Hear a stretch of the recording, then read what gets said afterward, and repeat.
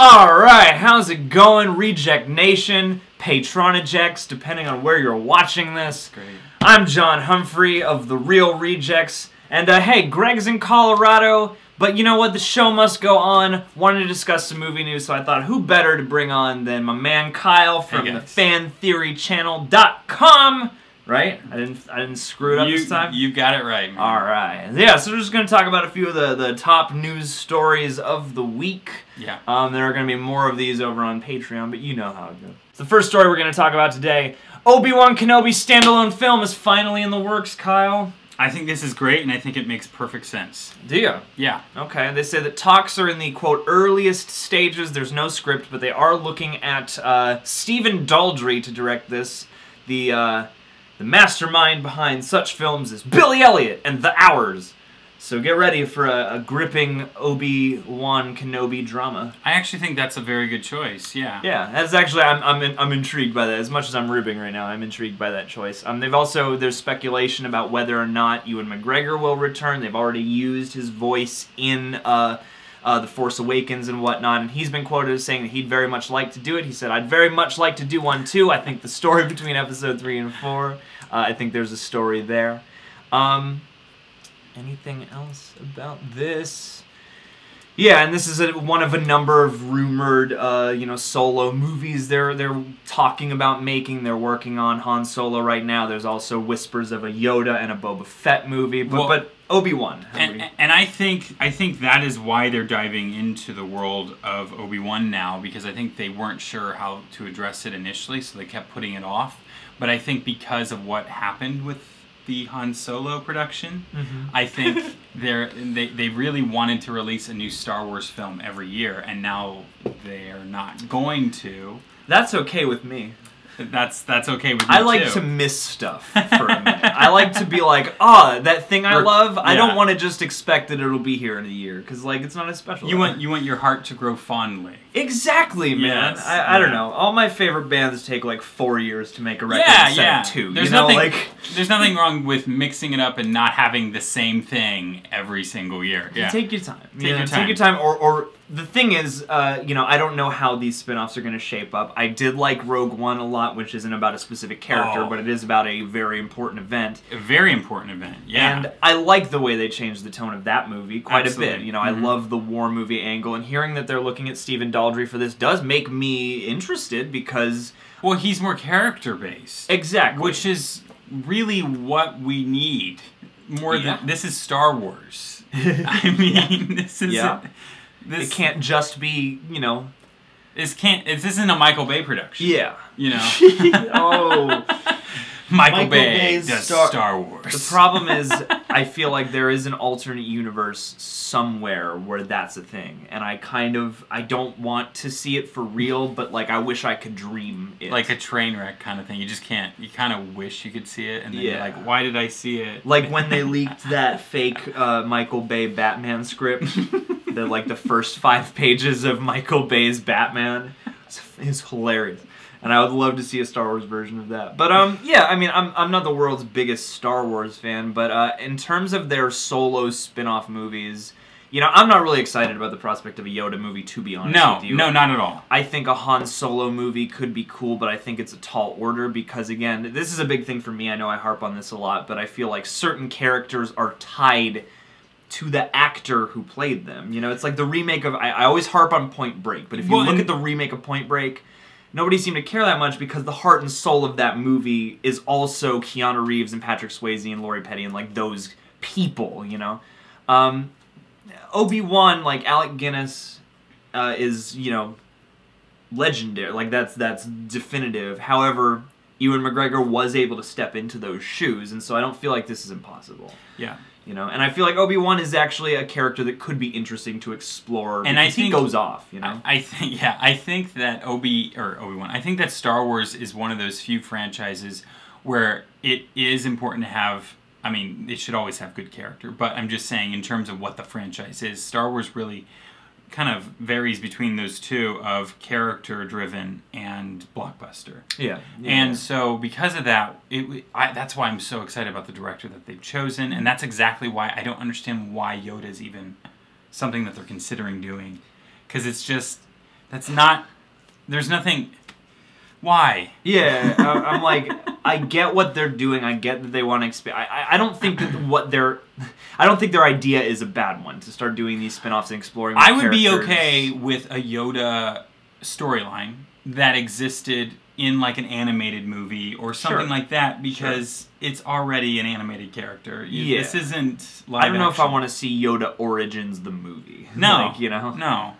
Um, but you know, like Boba Fett sounds because it's like I feel like I, Yeah. I'm most satisfied with the idea of taking side characters or, or smaller char- characters that are less iconic and less, you know, central because we've gotten to know those characters pretty well. I feel like uh, Obi Wan. I I think there is some stuff you can do with that. I think there's some areas you can explore. Yeah. And uh, I, if they really let Stephen Daldry bring his set of skills to that, I think it could be another sophisticated entry into the movie. Because especially if they want into the series, because if they want to do one a year, they've got to be different. Like I feel like that's what we've learned from the superhero boom is it helps you to be uh, stylistically broad.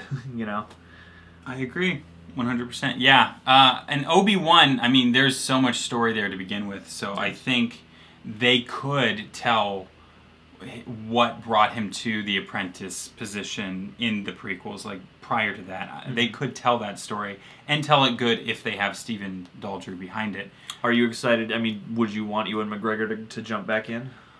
Um, I mean, y- yes and no. Uh, it really depends. Tom Holland. Would be great Obi-Wan. It'd be perfect. I would. I would Cast him Tom as Holland. everything. Yeah, cast him as everything. He's like the new it guy. That's you. Um, I I mean, yeah, I, I think it would be okay to have Ewan McGregor as long as it didn't feel like we're doing the prequels. as long as it's more in the vein of what The Force Awakens was, or Yeah. especially what Rogue One was. Yeah, Like, yeah. if we kind of get that kind of feel for a movie, then yeah, I don't care really who plays Ewan or Ewan McGregor, Mm-hmm. who plays Obi Wan, because it's it's probably going to be a good film, Yeah. and that's really what matters. So yeah, I'm not opposed to Ewan McGregor. I just it really depends on how it's being delivered. He is in an interesting position because they have at least a little bit embraced him, even though he is prominently a part of most people's least favorite things about this. Sure, series. but he is also he's a he's one of the better terrific, parts of those movies. Yeah, he's a pretty terrific actor, and yeah, and, I and as an Obi Wan Kenobi, I think he's a good choice. You know, or it was like back then. That was. one of the things that worked for me in the prequels. Anyway, even if I didn't love how all that transpired, I still liked his. and he's got a youthful generally. face that doesn't seem to age much. So Ever. It's weird. so he could do it. He could do it. Yeah. All right. All right. Here's some good news. Patty Jenkins is in final talks to land a historic directing deal for Wonder Woman 2. Yes, this is going to be fantastic. Yeah. Because, uh, I mean, why not continue with the same person who won you over in the first place? Yeah. Yeah, no, she's, um, yeah, I don't know. If Nobody knows exactly what, what the deal is, but according to Deadline, the quote says this. Uh, typically, according to sources, a frosh director on a com. Wow. It's been a long time since I've heard a. Like a A frosh. shorthand for freshman. That was like a whole. That was like a whole epithet in, in high school. It's crazy. Uh, a Frost director on a comic book movie gets 1.5 million to 3 million, while a director in the realm of Zack Snyder, who's helming DC's Justice League, received 10 million against 10% cash break even for his second DC film, Man of Steel. That's usually paid out as 20% during pre-production, 60% during blah blah blah. blah. Film numbers. Yes. So apparently, Patty Jenkins is just about confirmed. That's exciting. Now, I mean, I I hope she gets paid a tremendous amount for Handsomely. for bringing some goodwill to their entire operation. like, I feel like you should give her all the money right Agreed. now. Agreed. Uh, I feel like Zack. I mean, again, circumstances aside, I feel like dudes like Zack Snyder should maybe work a little harder for those paychecks. maybe focus up a little harder. Um, yeah, I mean, I'm I'm definitely excited to hear that she's coming back, man.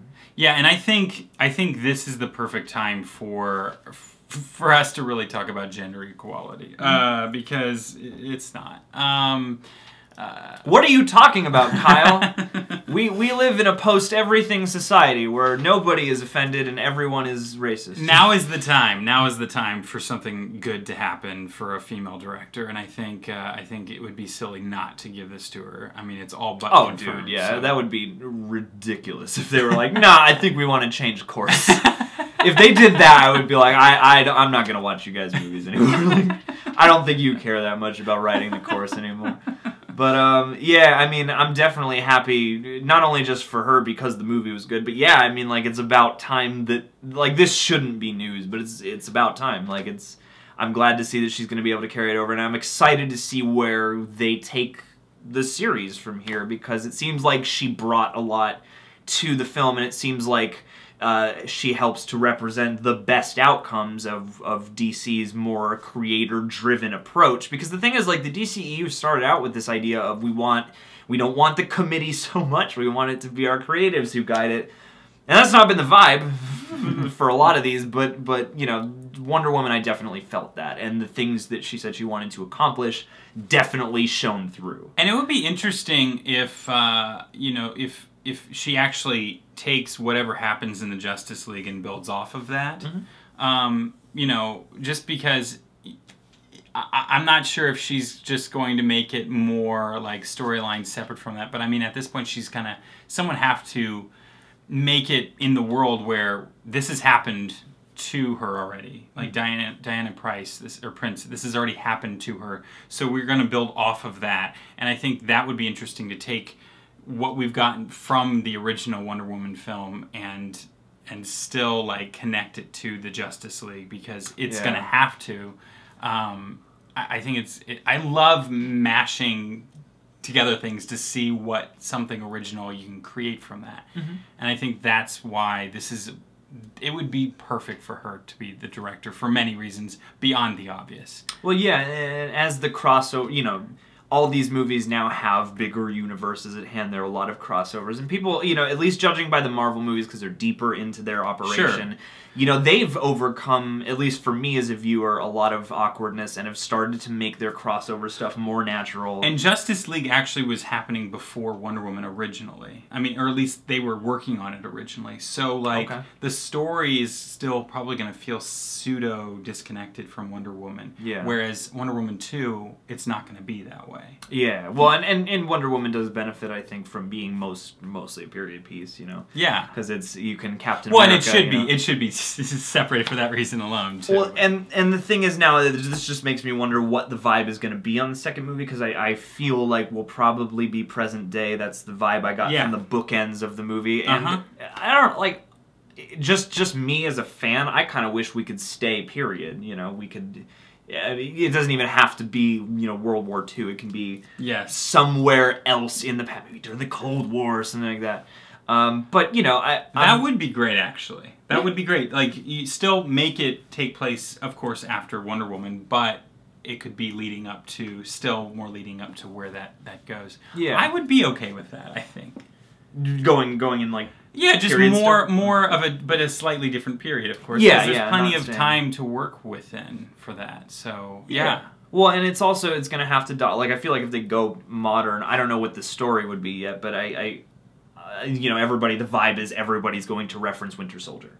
You know, the the jump from First Avenger to Winter Soldier. Uh-huh. I And, was uh, thinking that, yeah. And the thing is, like, I know a lot of people don't love the first Avenger, but I like that movie quite a bit in, in terms of the Marvel stuff. And part of it is because I just loved the period piece Yeah.